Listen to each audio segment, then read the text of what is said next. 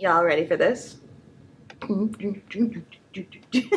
God, help me. Hey Posh Bosses, I'm Jessica Perrier and I'm the Platinum Plus, I don't know what to do with my hands. Hey Posh Bosses, I'm Jessica Perrier and I am the Platinum Plus Premier Leader of my team of Poshpreneurs, otherwise known as Jessica Posh.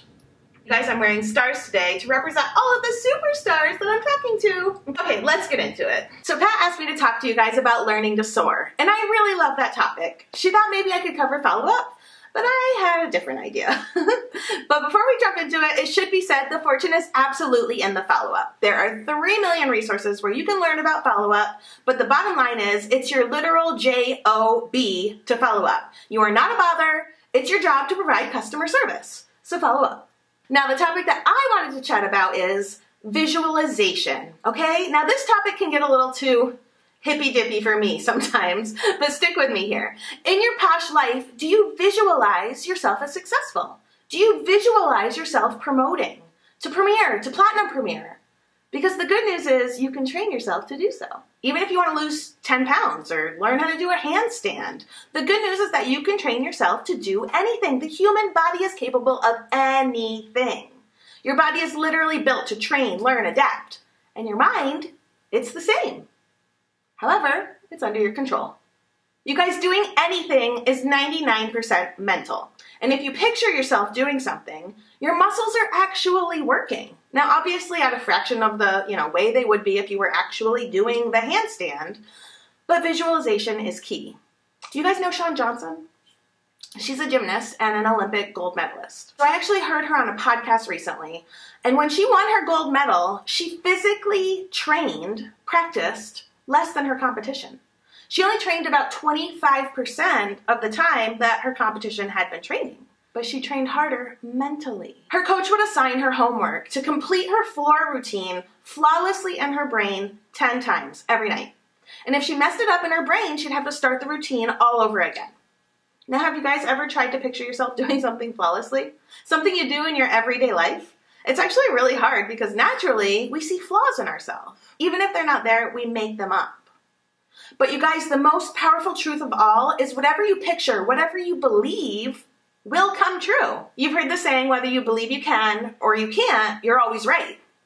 Hello, it's true. It goes back to that muscle memory. Whatever you're thinking becomes ingrained in your muscles and comes true. Now, here's another story. It's like story time with Jessica Posh. in 1954, Roger Bannister was the first man in history to run under a four minute mile.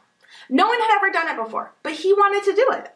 People told him he couldn't do it. They told him it was impossible, physically impossible. But he said, you know what? I'm going to do it. And he did it. You want to know how he did it? Just for the record, he had never done it before, not even in practice. He had never run under a four minute mile.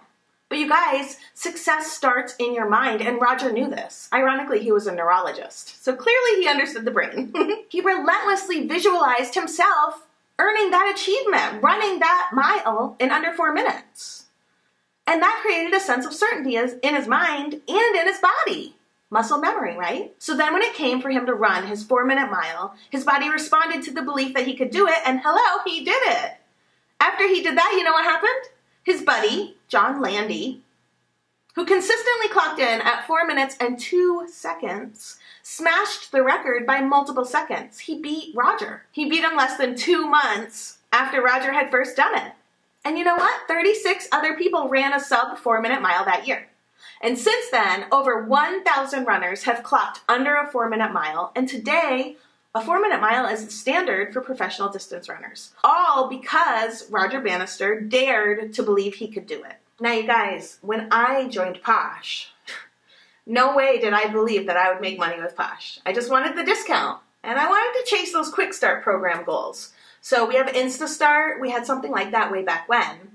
And I wanted to chase those goals. So I was, you know, putting in some work. And then I found myself hitting Pink Plus One and still climbing. I started watching other top leaders in our company and dared to think, now wait a minute. If they can do it, why can't I do it too? So I went to my sponsor and I said, Tracy, I'm going to be a premier. And she said, Yes, you are. And I'm so grateful for her belief in me because that helped strengthen my belief in myself. So many times when we tell people around us, you know, our plans or our goals or our dreams, they'll say, Oh, you can't do that. That's not for you. They put their self limiting beliefs on you. But you can't listen to those people. I visualized my promotion happening. I visualized what I would wear to my Tiffany ceremony, how I would do my hair, what the crowd would look like, what it would sound like. I believed that I could earn Platinum premiere. I believed that I could earn my Silver, Gold, and Platinum Tiffany ceremony all in one. Nobody had ever done that before. I believed I could do it. I visualized it happening. And you know what? It came true, just like I pictured it. You guys, if you want to learn to soar, you've got to imagine it. You've got to picture it. What does it feel like? What does it look like? What does it sound like to you? There are some of you watching this training right now that'll be premier, silver, gold, platinum even this year. But you've got to visualize it happening. You've got to believe in yourself and you've got to see it actually happening. Sometimes it's scary to put those things out there because you can have people that you really care about look at you and say, mm, ooh, sorry, Jessica, that's not possible. Good luck with that. But you guys, that's just them putting their own self limiting beliefs on you. Dismiss those limiting beliefs immediately before your muscles can even keep any memory of it, right? Muscle memory.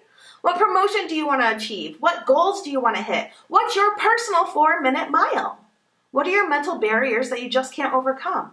What are the beliefs that are holding you back? Dismiss them, and you're well on your way to where you want to go to soar. Because you are your only limit. And if you're still unsure of yourself, find yourself a Roger Bannister, right? I struggled from Pink Plus 2 to Pink Plus 3. So I found Nicole Shreve Pearsall. She was my upline premier. And she was doing what I wanted to be doing in Posh. She was my Roger. If she could do it, then I could, right? And then I found Angela Gunter. She was a platinum premier. And I'll be damned, if she could do it, I definitely could do it.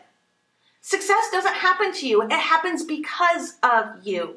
There's no such thing as an overnight success, there's no such thing as good luck. Uh, who was it? Samuel Goldwyn. I looked that up before doing this video. He said, The harder I work, the luckier I get. You guys, and no truer words have ever been spoken. You are your only limit. So, my challenge to you today is to sit quietly with yourself and consider the possibilities. Decide what you want from your posh business. What do you want your paycheck to look like? What do you want your day to day to look like? Visualize it as though it's already happened. What does it feel like? See it happening. You guys, this business is so simple, but it's not easy. However, we know that we can do anything because we are our own limit. Everything is figure outable. When I joined, I never had heard of or attended a Facebook party. And I thought YouTube was where you watched people on roller coasters because that was literally the only time I had ever watched YouTube. Everything is figure outable. You learn as you go. But in order to soar, you have got to see yourself as successful. You've got to imagine that you are capable. We can do anything. You can do anything. You've just got to take the steps to make it happen. Best of luck to you in your business, and I hope this was helpful. Have a great day.